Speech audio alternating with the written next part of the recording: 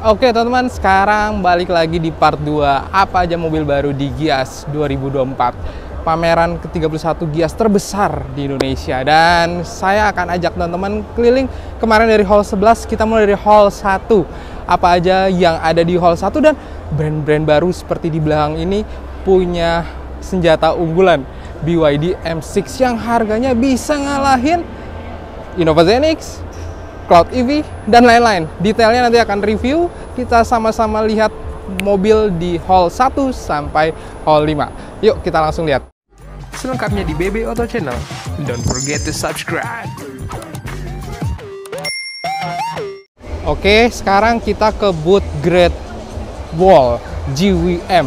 Nah, ini adalah uh, garapan mobil yang masuk lewat grup Indomobil ya teman-teman. Nah di depan kita ini adalah yang terbaru GWM Tank 300. Bener-bener maco banget GWM Tank 300 Fury dengan spesifikasi harga yang baru di launching karena ini baru masuk banget 833 juta 888 ribu angkanya feng shui banget ya tapi it's okay keren kalau kita lihat sekeliling ini kayaknya bakal segmen uh, barengan baik BJ40 ya. Jadi barang-barang baik. Dan kalau bisa dilihat ini benar-benar kayak Rubicon teman-teman versi harga hemat. Dan dia adalah sebuah hybrid electric vehicle. Jadi GWM Tank bisa kita lihat sama-sama membuat kesan maco banget dan dia sudah ada sunroof teman-teman. Dan lihat interiornya begitu mewah. Bisa lihat ada ambient light dan mobil ini sih ganteng banget ya. Kalau misalnya lihat ini speaker pun Infinity dan sudah ada footstep juga seperti ini. Nah ini yang udah ada upgrade-nya teman-teman ya. Nah sekarang kita coba lihat yang memang versi basic standar. Nah versi basic standar GM Tank 300 adalah seperti ini. Nah gimana gimana gimana? Yang punya budget mau tadi mikir-mikir beli uh, kayaknya pengen beli Jeep deh. Atau beli ini aja. Ini ring 17 dengan uh, bener-bener bisa dilihat gagah banget. Ini warna hitamnya. Dan ada juga yang warna orange tadi kita lihat di sana. Nah selain GWM Tank 300 grup Great Wall juga launching. Ini salah satu produk baru Haval Jolion dan ini merupakan produk yang dirakit di Indonesia.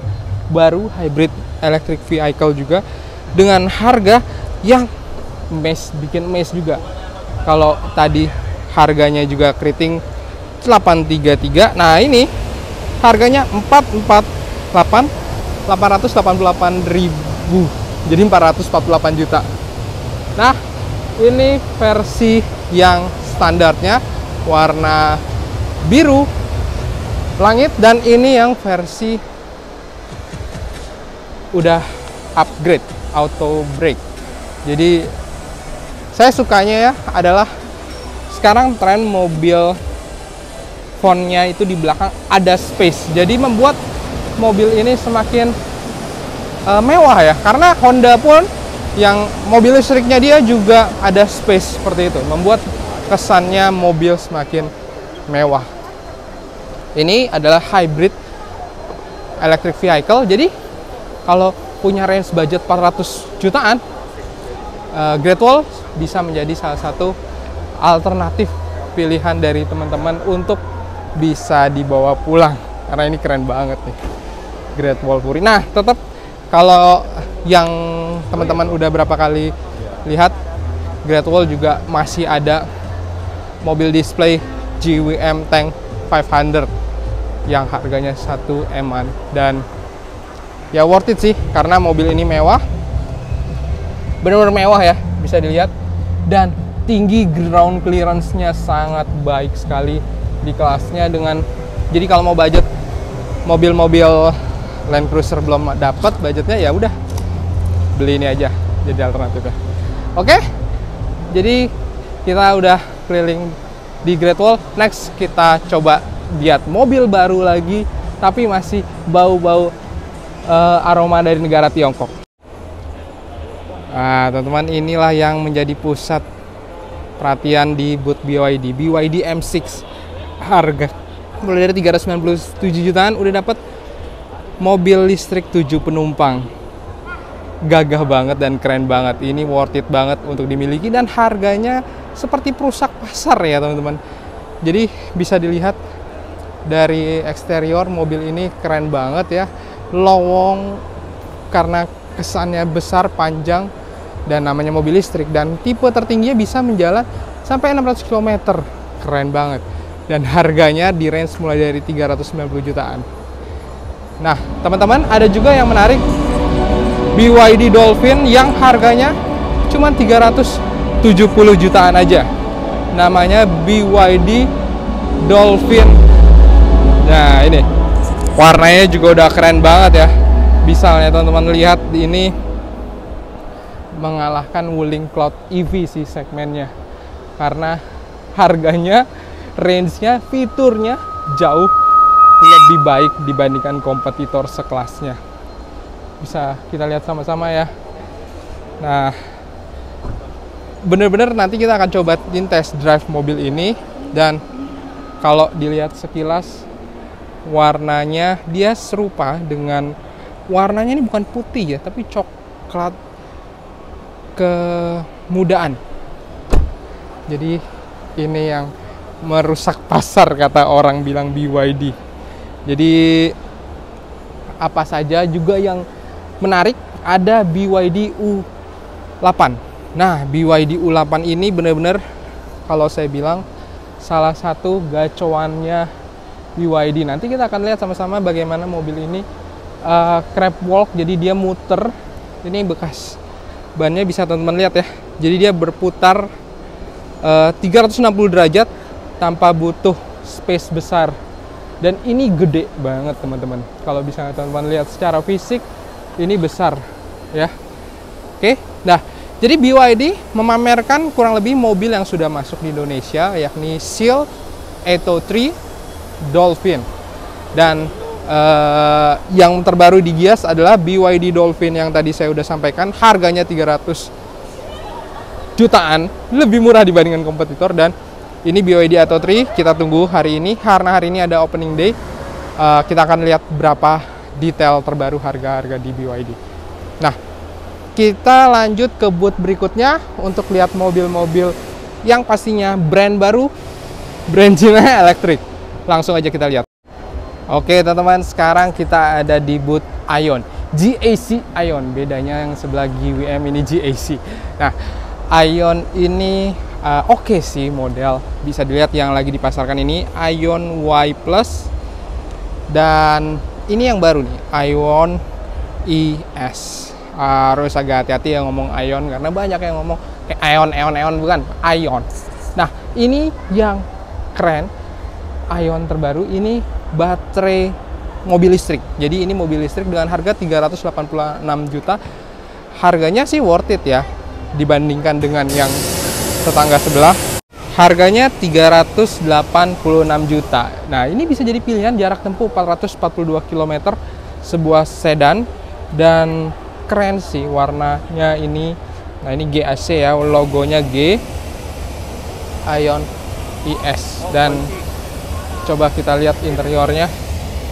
Nah ini ganteng juga lega dan ya sebuah mobil sedan. Tapi ini belum power seat ya gimana harga 386 juta kapasitas baterai 55 kWh jarak tempuh 442 km nah yang keren juga ini adalah sebuah hype Ion hype ini tapi belum diluncurkan baru diluncurkan nanti uh, mungkin medio akhir tahun sampai tahun depan. Harganya 685 juta. Dia punya pintu yang seperti Tesla Model X Gullwing yang naik ke atas dan yang lagi bener-bener pasarin sih ini ya Ion Y Plus harga 415 juta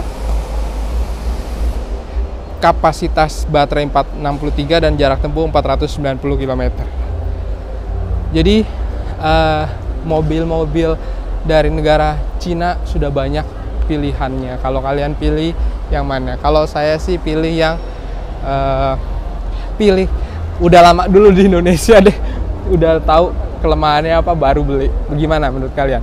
Eh, komen kalau kalian sepakat dengan saya. Dan ini Ion yang high tech juga, tapi beda. Ini pintunya, lihat deh, kacanya ini udah frameless ya teman-teman ya. Sebuah mobil kaca frameless.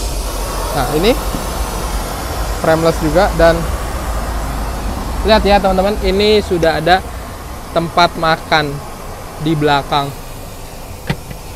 dan sebuah panoramik roof yang besar sekali oke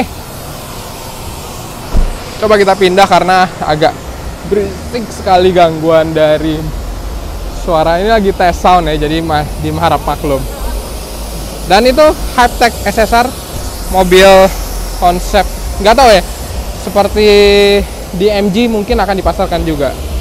Oke, kita next ke booth yang lain. Oke, next kita akan lihat di sini ada mobil Vietnam yang dulu di IMS pertengahan Maret sudah diluncurkan.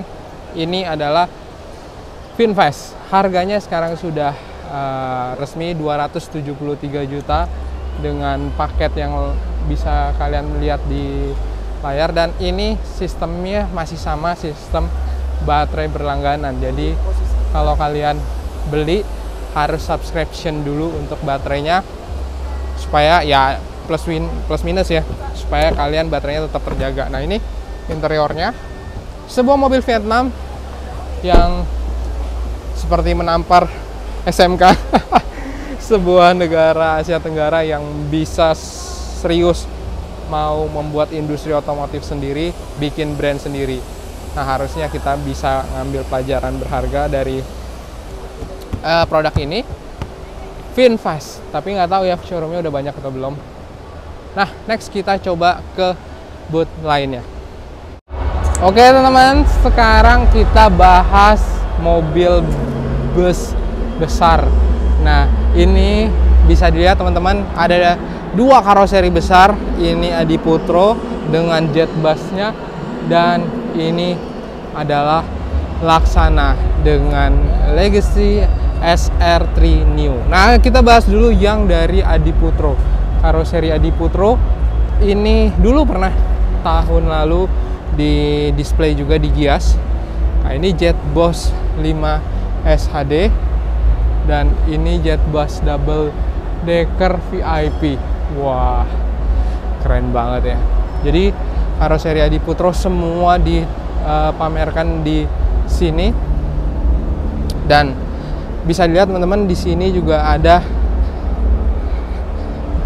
Jet Boss 5 Jumbo. Lucu ya. Jet Boss 5 Jumbo.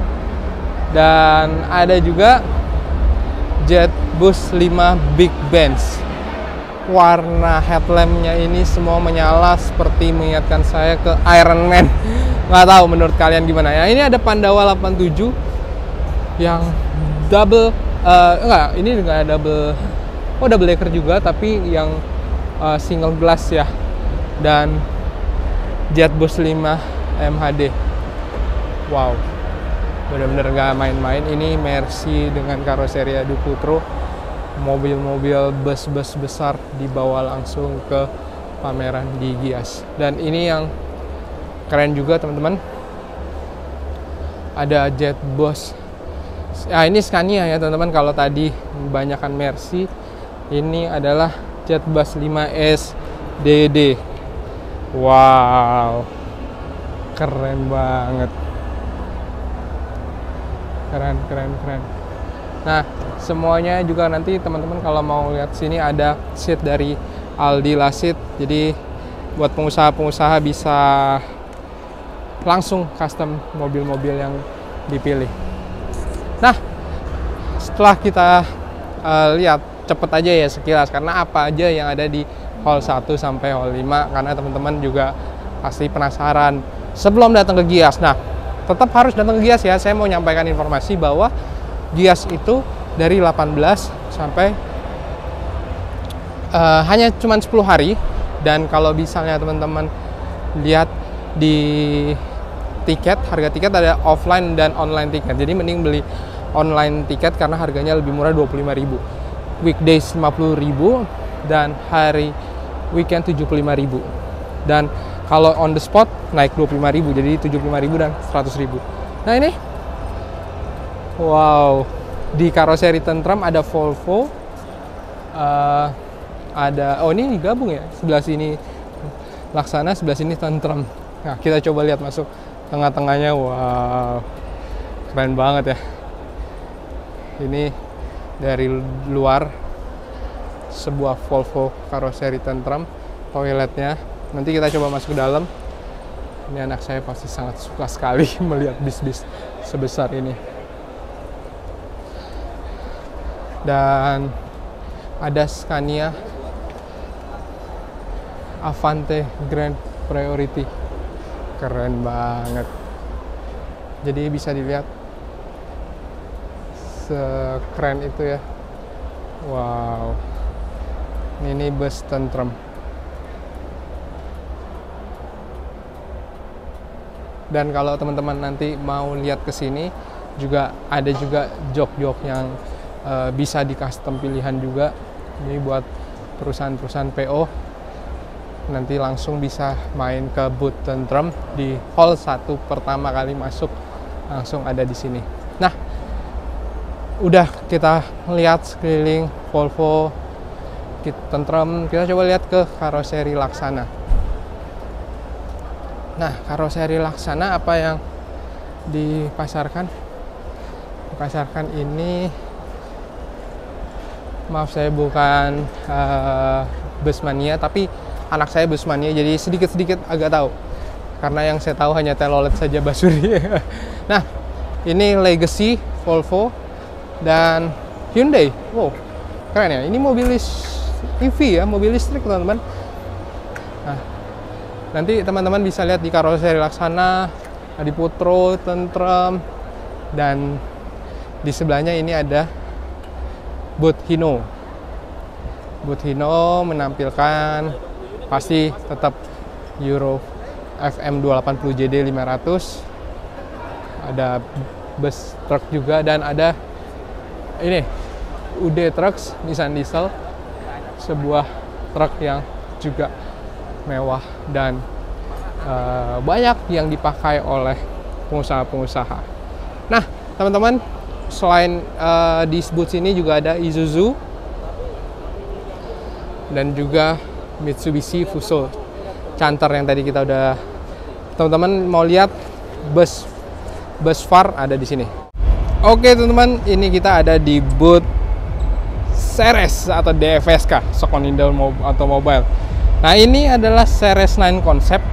Sebenarnya kalau di negara Tiongkoknya ini merupakan mit, uh, Aito Mito saya uh, kalau salah maaf dan ini Aito nah ya.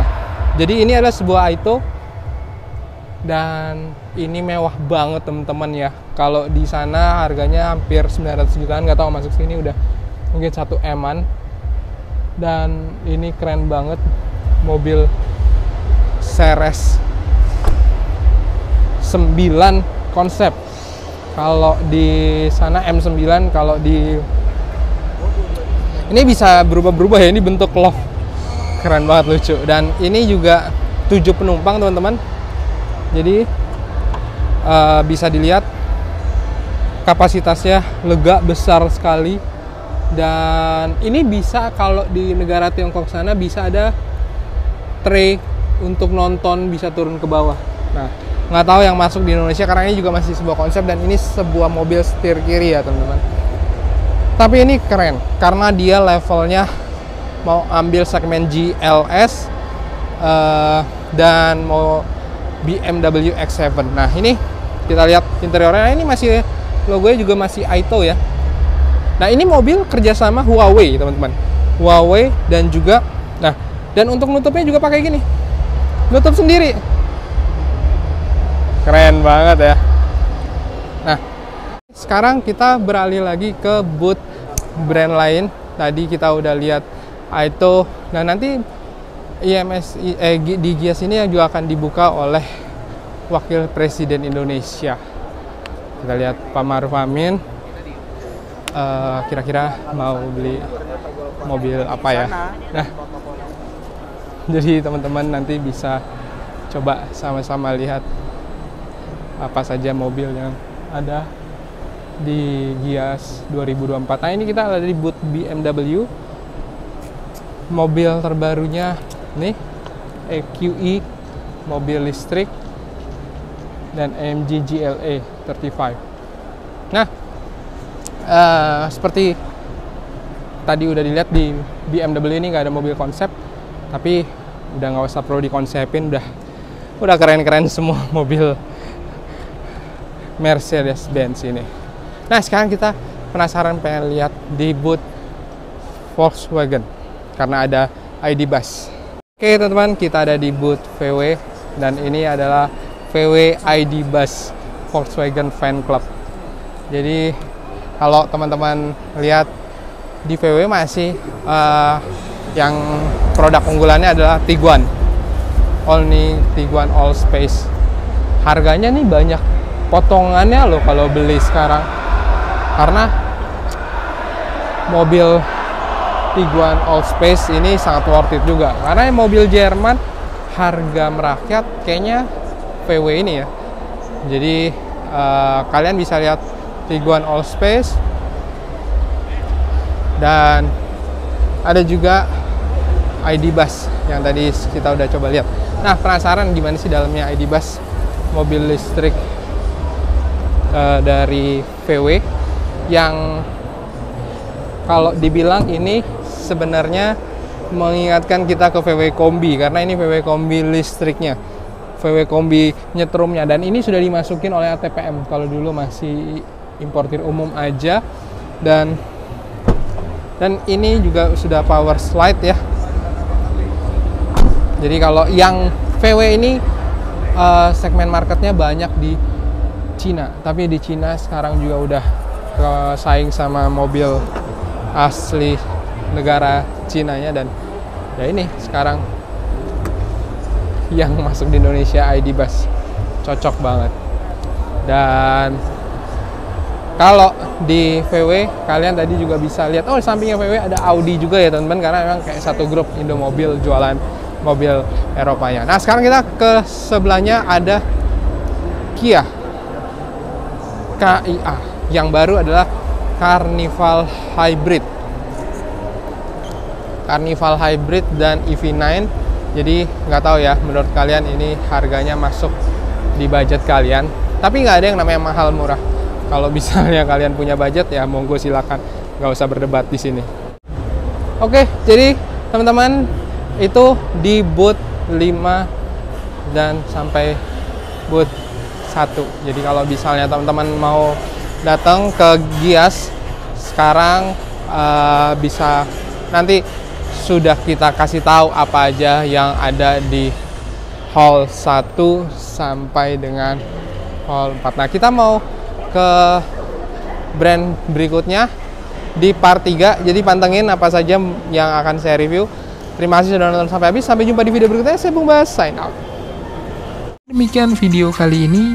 Teman-teman boleh klik like apabila suka dan share ke teman-teman yang lain dan juga komen mau di request mobil apa atau ada masukan apa silahkan tulis saja di kolom komentar. Jangan lupa juga nonton video-video sebelumnya yang mungkin kalian cari mobilnya ada di situ. Dan juga jangan lupa follow Instagram dan Facebook dan juga Twitter Baby Auto Bung Bas sign out jangan lupa subscribe. Sampai jumpa di video berikutnya